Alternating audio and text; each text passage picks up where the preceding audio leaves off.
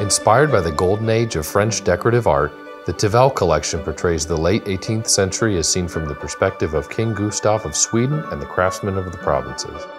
Highly individualized design treatments, informal woods, and casual finishes depict a tranquil elegance, eliciting an unassuming mood that blends to perfection.